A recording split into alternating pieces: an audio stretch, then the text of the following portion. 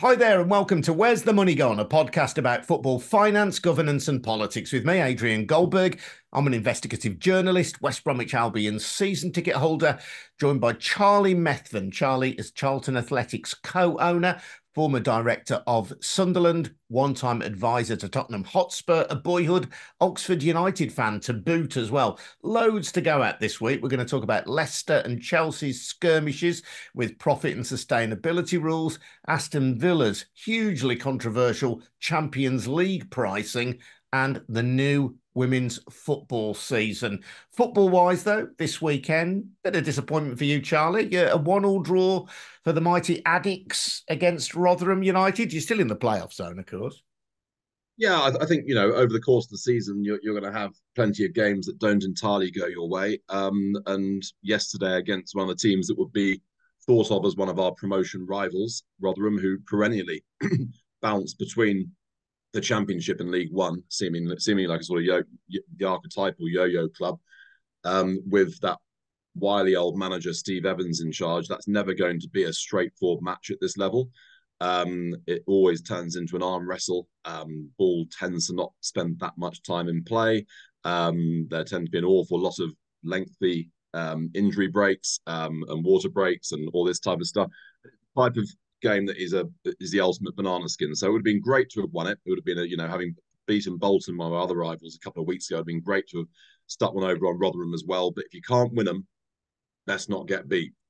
And um, we conjured up a fantastic equaliser, just couldn't quite get the winning goal. But overall, ten points in the first five games. You'd take that, um, and we, we we roll on hopefully to some slightly more straightforward games coming forward. Well, indeed. Good luck to you on those. And uh, West Brom weren't in action this weekend because of the international break. I went to see one of my local non-league sides, Cadbury Athletic, who play in Bournville in Birmingham against a team called Birmingham United, the visitors, who won 5-1. But it was actually a very good game of football, Midland Alliance Division 2. So uh, I was doing my bit to keep grassroots football alive as well. Really enjoyed my afternoon at a lovely old ground that was uh, built, or the pavilion was built in 1902 but I think because of various covenants on the ground, they can't have floodlights as well, which I think is a shame. But it's a it's a lovely place uh, to watch football. Let's talk then about big time Premier League football and Leicester City. Charlie avoided a penalty for overspending in the three years to the end of the 2022-3 season when they were in the Premier League. Their losses were 129 million pounds. That's in excess of the 105 million pounds over three years. But an independent panel said that they had broken no rules. How come? Well, um, there's a very straightforward answer to that. They had broken no rules because more by luck than design, although they at the time doubtless saw it that way. I doubt they did see it that way, rather, had got relegated to the championship. And what had happened was they changed their accounting period to uh, the end of June, which is in line with most football clubs. That's a totally normal thing. Um, and that then meant that by the time that the um, the period under discussion had finished, they were no longer members of the Premier League. Indeed, their share in the Premier League had been passed to Luton Town. So what then happened was the Premier League said, well, you've overspent by this amount of money over that period of time, whatever it was, around around about 20 million pounds. Um, and therefore, we are going to give you a points deduction when you reappear in the Premier League. You broke our rules when you were last here. You're now going to get points deduction when you reappear in our league and therefore come back under our jurisdiction. Leicester um, then say, well, uh, that I'm not sure that's quite right because the final year that you're judging us on, by the time that our accounts were published, we were no longer members of your organization. So you have to discount that year. That year is a year which, which when we became under the championships jurisdiction. So this very tight piece of um, definition became the basis for their appeal. Now, just to give you an idea of how sort of tight it is, effectively, the year that finished on June the 30th of course, they they only lost their Premier League share effectively one month before the end of that financial year. So it's a very um, sort of uh, difficult case for them to argue on moral grounds. They definitely did lose that money during the time they're in the Premier League, and presumably they had no intention of getting relegated from the Premier League. But in retrospect, their lawyers have dredged this one month um, sort of uh, hiatus up as a reason to say, on a technical basis, we haven't broken your rules. And you know what? I think most clubs, obviously, in that situation, would try and use whatever they can within the rule book, which would get them off the hook. And I don't really see a problem with that. You know, ultimately the fault is with the rule book, not with the club that is trying to say, well, that is your rule book. I think the thing that slightly sticks in the craw is the rather sanctimonious public statements. We've done nothing wrong. We knew all along that we were doing this absolute balderdash. They did not want to get relegated from the Premier League. They didn't know until quite late on that they were going to get relegated from the Premier League. By the time these losses had been baked in by overspending on players, they the die was cast. If they had been successful that season, then they would have got a big points deduction. So I think that's that's the bit which for me really is sort of, you know, if, if you're a classy organization, what you should say in those circumstances is, look, as per the rule book, we are actually technically not guilty. But we recognize that some people will look at this and say that that's a rather technical thing. And we are now, we are now getting our house in order. We are now making sure that we no longer have to, to rely on small intricacies of the rule book going forward. We are going to be a club that properly abides by the rules, does things properly, is run properly, etc. And I think most people then look at it and say, okay, fine, let's move on. There's a lot of talk in football just about how sort of classless the whole attempt in public statements to try and imply that somehow they were in the right all along and they haven't done anything wrong, etc. Um, the Football League themselves, fun enough, have come out in a rare moment of unity with the Premier League and have said how um, how deplorable the situation is. And I think that moving forward, Leicester are not out of the woods. And this is where their classless behaviour might really come to sort of bite them in a way, because um, what what the Premier League did last year is that they changed their rules to say that even if you are out of the Premier League for one season, you will then be judged over the next two years, including that year, but on an average basis, effectively. Now, if you look at what they are are, are what they were losing in the year before they went down, and what they are projected to lose this year, then there is a strong possibility. I only say a possibility, but there is a strong possibility they could fall foul of the regulations again, and this time they will not get off. And I don't, and I think if they didn't get off, there would not be a huge amount of sympathy washing around the game and the industry, given the way in which they've treated this uh, this little loophole. And uh, we stress they are within the rules. That's what the independent Absolutely. panel found. Yeah. They have done nothing illegal. But the independent panel, he said, itself said that the uh, the profit and sustainability rules are in relevant parts far from well drafted. So the Premier League's rules, as you say, were rubbish, weren't they? They were really poorly drafted. I think Leicester, they changed their accounting period right. not long before that relegation season either. I think it was quite near the end of that year. So that's correct. Whether they were aware that this might provide them with the opportunity to make this argument when the writing was on the wall, who can know? But nevertheless, they were in the rules. But the Premier League itself says if the appeal board is correct, and they're not going to appeal it as we understand it, its decision will have created a situation where any club exceeding the PSR threshold could avoid accountability in those specific circumstances. Now, I would say to you, Charlie, this absolutely goes back to the original sin of modern football, which is the creation of the Premier League. You've got two different jurisdictions, the Premier League and the EFL and wealthy clubs with clever lawyers can find loopholes. That's not how football should be run. It stinks to high heaven to me. Yeah, well, I mean, look, it, it, it does. Um, and I think it's interesting that the Football League and the Premier League are bemoaning at the same time, effectively, the, the, the separation of the jurisdictions.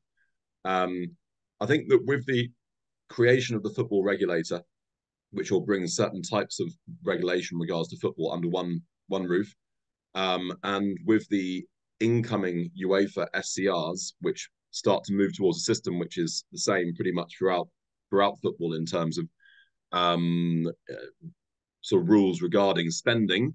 Um, we and are SCRs are what, Charlie? SCRs these are the squad these are the squad cost ratios, which means that you can only spend a certain percentage of your revenues, and we'll come on to the difference between revenues and P&L um, in a, or sorry, and, and, a sort of counting profit and loss in, in a moment, I, I suspect, as regards another club. But um, once everyone's operating roughly off the same scheme, once everybody's coming under the sort of the realm of a single football governance body, the football regulator, which hopefully will be imposed quite soon, and we're also looking forward to a situation where it's likely that the Premier League will be handing future TV rights sales on behalf of the whole of English football. I think maybe, just maybe, we are starting to move towards a slightly less sclerotic universe. Yeah, well, a cynic, and I'm one of those in this regard, might say that the Premier League rules were drafted poorly because the Premier League itself has not been sufficiently interested in making sure that clubs stay within its own spending rules. The rules have been there because pressure has been brought upon clubs, not least by supporters, not least by politicians, to ensure that clubs don't spend money that they haven't got. But I would argue that the Premier League hasn't been sufficiently interested in that to draw tight rules about this. And that's why it's come back to bite them on the backside. And the Premier League can only look at itself for the situation that it finds itself in. I think it's disgraceful, albeit entirely legal. I, am not sure I agree. Actually, I, I, think that for the last few years, the Premier League has been very interested in in um, cost control, um, and to, to, much to the um, horror of some people. I mean, I occasionally I pick up the Sunday Times occasionally and read their benighted columnist Martin Samuel, who seems to think that actually it'd be extremely good for the game if everyone was allowed to spend as much as they possibly could with no restrictions whatsoever, no care about going bust in the future, doesn't matter at all. Oddly enough, the following week, he bemoaned the lack of English owners in the game without seeming to understand there aren't very many English owners who can keep up spending with a Saudi sovereign state. Um, uh, there's an awful lot of cant and hypocrisy around these topics. I think that over the last few years, the Premier League has tried to put its house in order, but ultimately, it's not really a regulator, it's a members club.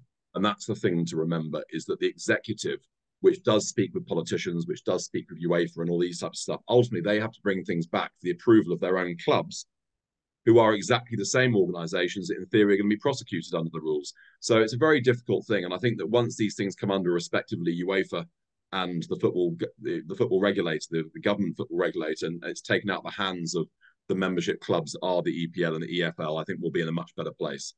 Before we move on from Leicester, I just want to observe that the ruling in which they were declared to have broken no rules applied to the 2022-23 season, but we still have then questions around the 23-24 season when they got promoted from the championship in the eyes of many observers having a, a, very large squad of highly paid players.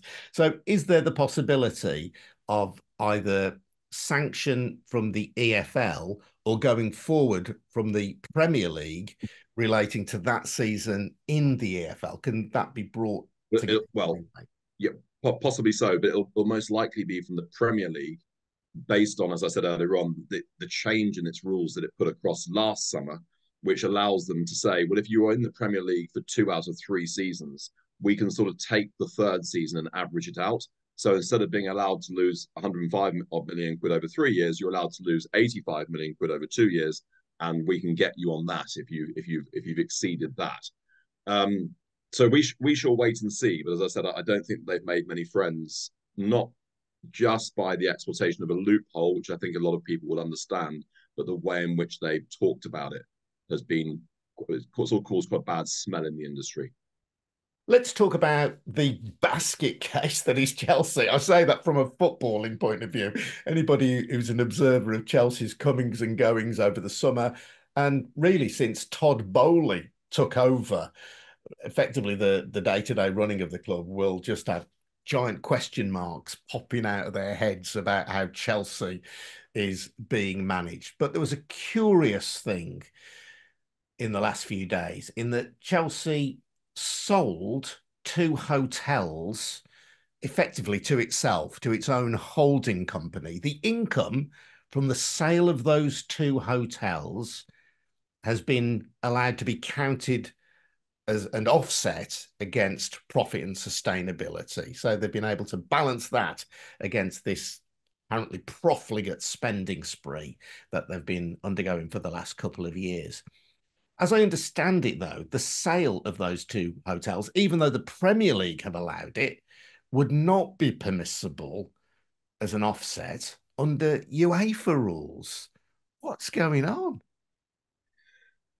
Well, this has been flagged up for some time as being one of the many ways in which Chelsea might manage to slide their way underneath the um, uh, the, the PSR um, sort of pole, um, if you can imagine it. Um, and uh, I actually think this one is much more legitimate um, under the current PSR rules, which do relate to profit and loss for a club as opposed to revenue based spending. So clearly, the sale of a capital asset is not really revenue as such, it is um, a capital realization and would sit on the balance sheet as such.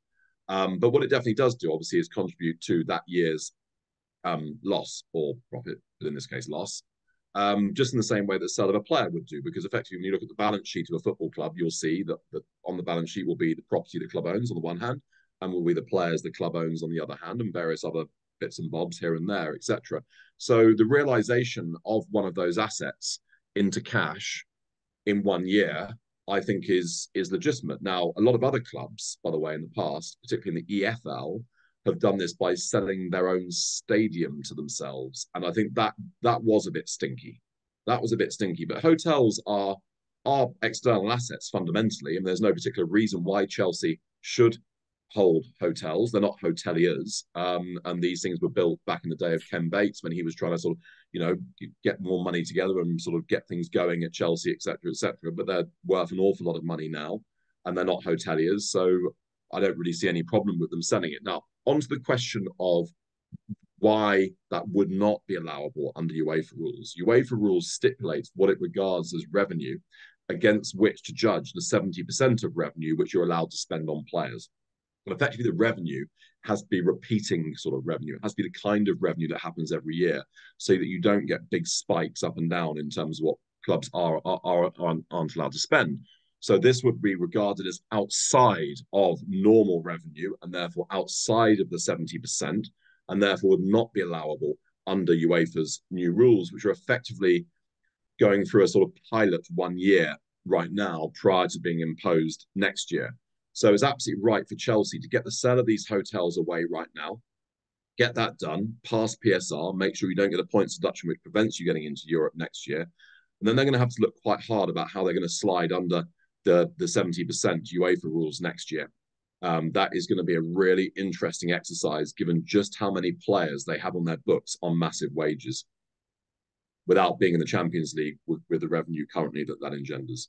Yeah, just so we're clear on what's happened with the hotels, then they were sold by Chelsea FC Holdings to Blueco 22 Properties Limited, but both companies on either side of that transaction are under the control of Todd Boehly and Clearlake Capital, who are Chelsea's owners. I hear what you say, Charlie, that it's something that Chelsea engaged in as a company and cost them money at the outset, and it's therefore an asset that they have now realised, and it's within the rules. I accept that it's within the rules, but I've got to say, as a fan, I prefer UEFA's rules because I, I, just sure. think it, it just means, doesn't it, that clubs have this stuff sitting on their balance sheets. It allows them to effectively subvert the intention of the Premier League's profit and sustainability rules, accepting that it's within those rules, but the intention is to make sure that clubs are only spending money on transfers and wages in a way that is sustainable and massive well, one-off in, infusions of capital like this are not sustainable.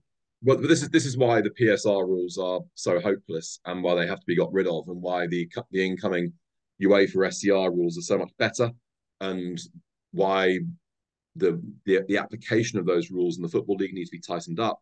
Um, once everybody is on squad cost ratio rules, and once all of this stuff is ruled out of court right from the start, then everybody will be in a much clearer, better position. It's PSR that's the problem here. It's not. I, I don't judge.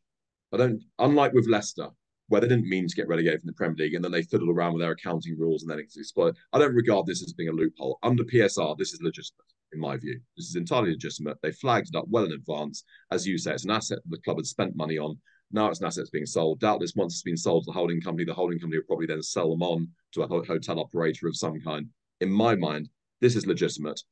Um, I, I, am somewhat interested, given that that that holding company is co-owned, as you say, by um, Todd Boehly and Co. and Clearlake Capital. Given what seems to be happening behind the scenes between those two entities, that would be interesting to see how that gets, you know, dealt with, divided up. Um, if there is uh, a passing of the ways between those entities, as is being sort of mooted in the media at the moment. But as things currently stand in the final year of PSR, I think this is not something that we want to get too hot, hot under the collar about. And in terms of Todd Boehly and Clearlake Capital, then these are Chelsea's US owners, but a suggestion that there is not unanimity behind the scenes at Chelsea. What what can we make of that? Do you know what? It's it's it's it's, a, it's an interesting thing, right? Because it's quite difficult um, to manage and run a football club with multiple shareholders. Um, now, this is something that I've been involved with several times now. Um, and in theory, this is how normal companies run, right? So a normal company, whether it be a privately held company or a publicly held stock company, um, will have more than one shareholders. There are exceptions, there are family businesses, etc. But majority, significant sized businesses will have multiple shareholders. And those multiple shareholders mandate um, the executives to run the club on their behalf, and the executives report back into the shareholders let them know how they're getting on. And if ultimately a majority of the shareholders don't think the executives are doing a good enough job, then the executives get fired and the whole thing sort of moves on from there. That's how a normal company works. The problem about football is its beauty. The beauty of football is that everyone has an opinion about it.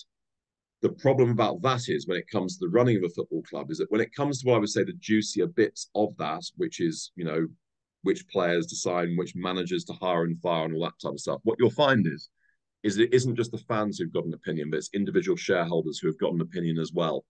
And when one of the shareholders seems to have more of a say in the making of those decisions, if those decisions then don't go well, then the other shareholders who might have had a contrary view in the first place start to say, well, hang on a second, mate. You've just lost us a lot of money with that decision. You know, that decision that you made that I didn't agree with at the time has just lost us a lot of money. And the and the relationship can become fractious from there. Um, now, it's, it's it is very much a matter of football. One of my owners is fond of saying that you know if this was a light bulb factory, none of the shareholders would be particularly interested in um, in the sort of ins and outs of how the light bulbs are made, etc. etc. They would just look purely at it as an investment and see what the dividend return on the increase in capital return might be and, and all this type of stuff. But because it's football, because people have a view, it can become difficult. Now, what it looks like has happened here is that obviously when this whole project started, Boehly was in charge, and Boehly was calling the shots when it came to those juicy decisions about who to fire, who to hire, which players to sign, and all this type of stuff. And he was very prominent. And in that year or two that he really was in charge, it didn't certainly in the short term, it didn't come off. And therefore, the bigger entity in that partnership, Clearlake Capital, who probably had no intention of running the club in the first place, a private equity firm, so why would they? probably looking on from the sidelines going, have we pinned our colours to the right mast here? Does this chap Boehly actually know what he's doing when it comes to running a football club? Clearly, he's been involved in running other sports clubs before, but not a football club. And you start to get that slightly sort of fractious relationship in the, in, in the boardroom where it's like, well, you've just lost me a lot of money. You know, should we allow you to keep on doing this? Now, I don't know if you then noticed, but then the the guys behind um, Clearlake then started to take more of a forward role they started to have a sort of more decision making role, and Boehly started to move more into the background. And let's just say that some of the decisions that they've made haven't necessarily yet come to um, be enorm- regarded as enormously successful. And you've probably got a bit of Boehly in the background. If I was Boehly saying, well, you know, you, you guys thought it was all going to be so easy, but actually, I was on the right tracks, and you sort of stopped me heading in that in that direction to a degree, whatever it might be, and you start to get these slightly fractious relationships. Now, under those circumstances, what normally happens is either the whole thing is sold because the parties can't agree and they agree to disagree and say, let's sell, sell the whole thing, or else one of the parties buys out the other parties.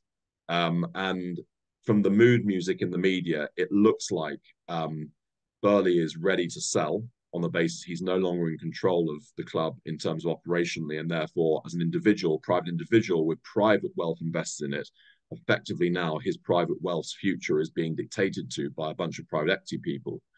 And it looks to me like Clearlake is saying, well, you know, we don't need to buy you out, but you know, might be. And then you start to get in the positioning of, well, you know, I'd be very happy to buy you out. But you can say clearly, you know, if you want to go, etc., etc. There's a bit of positioning, there's a bit of an arm wrestle, and at some point, there's some sort of price agreement reached, and the whole thing goes on. But once you start to see these rumors occurring in the media, it very rarely ends in the whole situation sort of coming sweet and light again. Yeah, indeed. Yeah, Clearlake owns 61.5% of the club. Todd Boehly owns 38.5%, but with two other investors. And as you say, it's not Boehly now who tends to run it on a day-to-day basis. There's a guy called Behdad Eghbali for Clearlake, who now appears to be in charge of the day-to-day running or the strategic decisions at Chelsea. But as with Boehly's time at the club, in the short term anyway, that doesn't appear to have been particularly any more successful. So we'll keep an eye on that one. That is an, an interesting situation, particularly as some of the spending decisions that have been taken by both Boehly and Eghbali over the last few years are going to have ramifications going forward for Chelsea.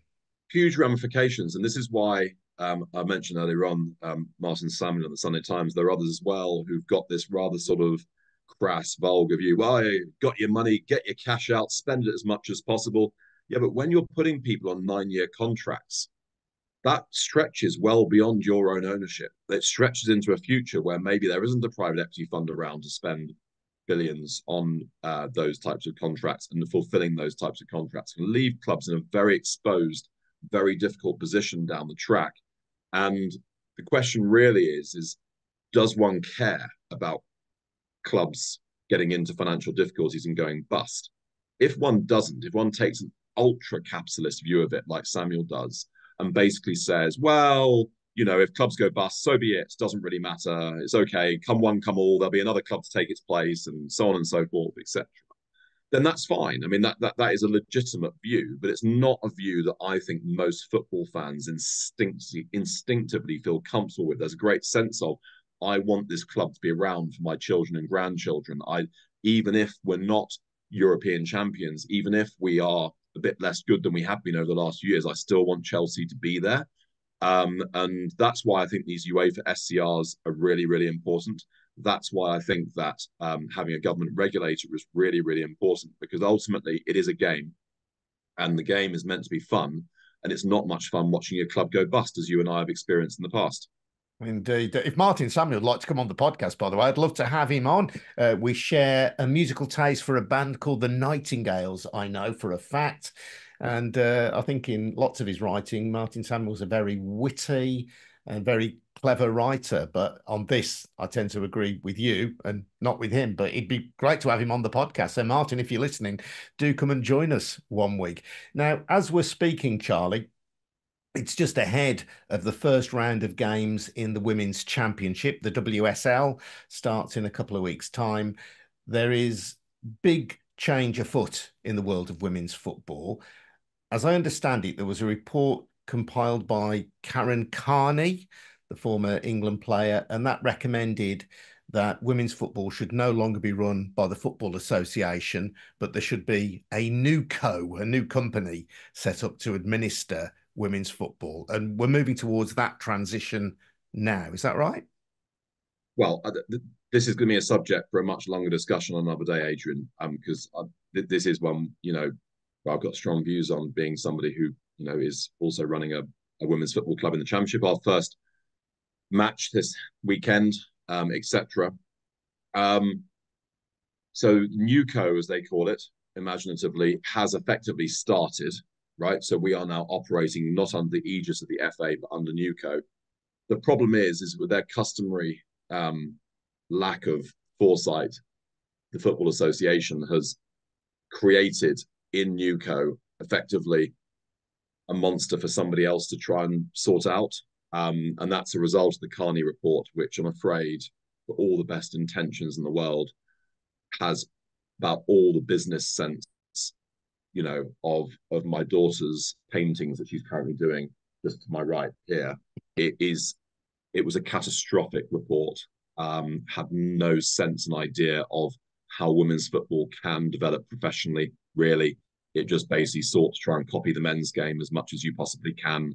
Um, and it's almost this sense of that women, female players of that generation resented the fact that they didn't have the same setup as the men's professional game, and they want to try and copy the men's professional game. The problem is, is what they've done is they've copied all the men's professional games mistakes and faults, and um, the the lady who has been appointed to run NewCo, who's a very able, good, decent person, is been landed with the horrific task, effectively, of trying to make this work. But that's a subject for another day. I think is that there's a there's a lot of detail that goes into why um, we're in the situation we are. And, and as you say, it's the start of the women's championship.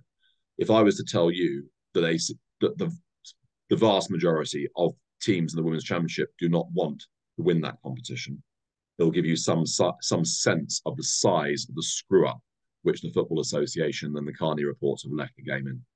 Well, we will talk more about that in a future episode. The woman who is now running the NewCo, uh, the Women's Professional League, is Nikki Doucet, former director of Nike. They've got an all female executive board. And as you say, Charlie, probably driven by the very best of motives. I simply observe that the the WSL, even though there is a championship which is part of this structure, the WSL is 100% in charge of all the negotiations around broadcasting and sponsorship. So that we, we see a replication of the Premier League's control of the money coming in to men's professional football into women's professional football. As you say, we'll park that for now, but we will return to that. And if you've got strong feelings on that, know something about it, and you're listening to this podcast, by all means, do drop us an email to goldbergradio at gmail.com. Before we go, Charlie, I want to talk about one of the most controversial pricing decisions that has emerged this season, which is Aston Villa's pricing for their forthcoming Champions League campaign. Of course, Villa's winners of the European Cup in 1982. They've not played in the Champions League in its modern format. The cheapest tickets for a game at Villa Park in in the I guess in the Holte end, the kind of traditional area behind the goal, if you're a season ticket, is 70 pounds it is 85 pounds if you don't have a season ticket and the poshest seats cost 97 quid if you're not a season ticket holder. If you're over 66 so a pensioner even if you've got a season ticket the cheapest ticket is 65 pounds. Villa fans are absolutely apoplectic about these prices. Yeah um, and, and, these are things that we see now on a very regular basis, aren't they, Adrian? As clubs try to keep up with the Joneses, um, you know, keep up with sort of the levels required to be able to sustain themselves in this sort of crazy world, high octane world of um, the top end of club football. Uh, my observation would be that you know last year Aston Villa lost around a, around about 100 million pounds. Um, and when we say they lost it, that means the owners funded it. Um, and effectively, that massive investment by the owners of 100 million pounds has built a team that gained Champions League football. And in that spending, they were applauded all the way by the Villa fans, saying, "This is amazing! What great owners we have! This is fantastic!" And this is the this is the morning after. This is the hangover. This is guys. Look, if you want to be fans of a Champions League club, which is what you say you want. You you're not in the Goldberg Methven world of sustainable football, of accessible football. You are absolutely on the big vulgar cash money train here, and that's what you said you wanted: big signings. We're the Villa. We're a massive club. I imagine you hear that a few times in Birmingham when you're out and about, Adrian. Well, bully for you, fantastic. Just be careful what you wish for. All I'd say about this, Charlie, is that, uh, you know, of course, Villa fans want their club to do as well as they can. But you look at other clubs in the Champions League, Celtic, for example, I think are charging £46 for their Champions League games. That's still not an inconsiderable sum of money for many people in these times, but £46 is a lot cheaper than £70 per game.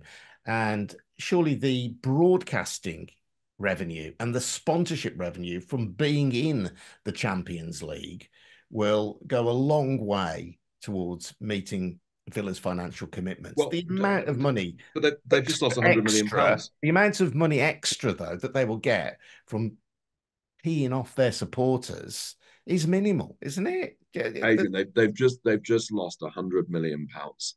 That's not sustainable. Um, and the club needs to start to do things that brings that into line. Now, I think where where these things do tend to go a little bit wrong is the lack of consultation.